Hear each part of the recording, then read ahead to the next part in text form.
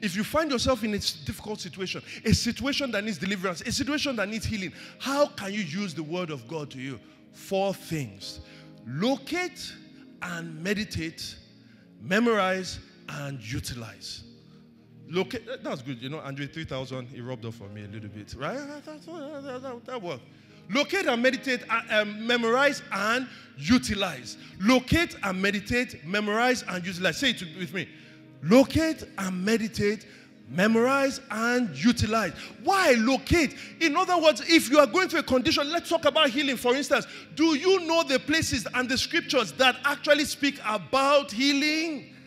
Jesus, when he was about to start his own ministry, the question is this Does he know where his ministry is spoken about? Oh, yes, he did. When he entered the synagogue in Luke 4 17, he said that the scroll was unrolled and he found, he located where it was said, The Spirit of the Lord is upon me, for he has anointed me to preach good news to the Gentiles and to set at liberty those that are captive. And he looked at them and said, This day, that word is being fulfilled in your hearing. Can you locate a word and say, Lord, let it be fulfilled to me according to your word? This is why we need to locate. But when you locate, you need to meditate. You need to be able to sit down, understand, understand, not just make it like some magic incantations. You have to understand why this applies to you and why this can be used. Let me give you one example.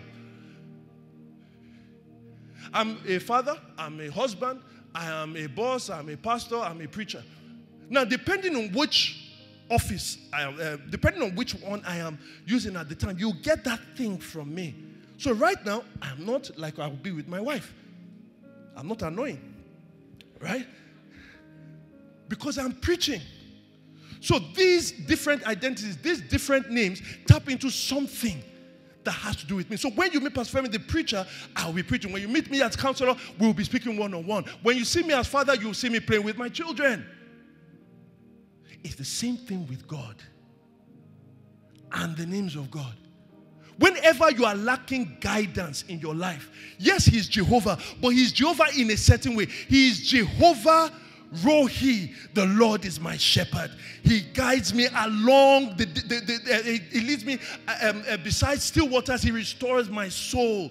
But when you are struggling with your identity, you need Jehovah Rohi. Do you know what you need? You need Jehovah Nissi. The Lord is my banner. I am defined by God, not by anything else. When you are struggling with righteousness and sin and is trying to condemn you, you need Jehovah Tsidkenu. That is, the Lord is my righteousness. Am I speaking to somebody?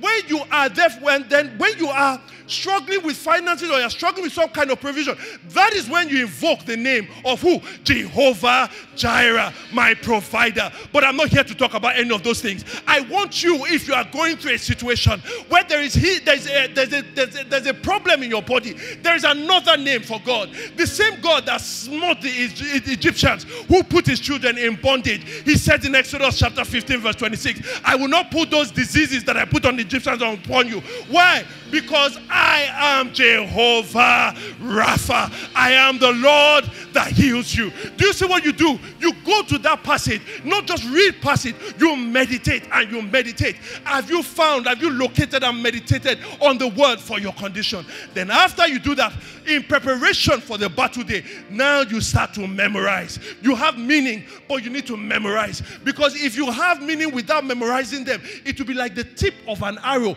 but you don't have the sling. If you have memory, if you memorize the scriptures and you don't have meaning, it will be like shooting an arrow, but you don't have the tip of the spear. You need the tip of the spear and the sling. This is where you memorize scripture. Have you memorized scripture enough? I, Jeremiah said that your words were found by me and I ate them. He said, Your word was inside me like a fire in my heart, like a fire shot in my bones. He said that you are the Lord that healed me. You sent your word and you healed my diseases. He said that blessed be the Lord, my soul who forgives not all and forget not all his benefits, who forgives all your iniquities and he heals all your diseases. He says this that I cause uh, heal me, oh God, and I will be healed.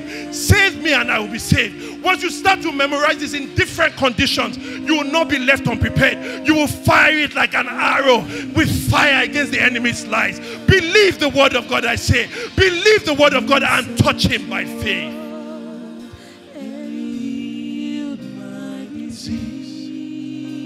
believe. Do not be afraid.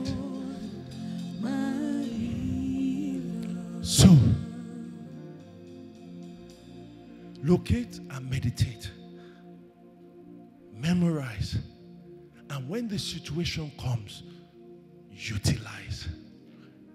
Utilize the word.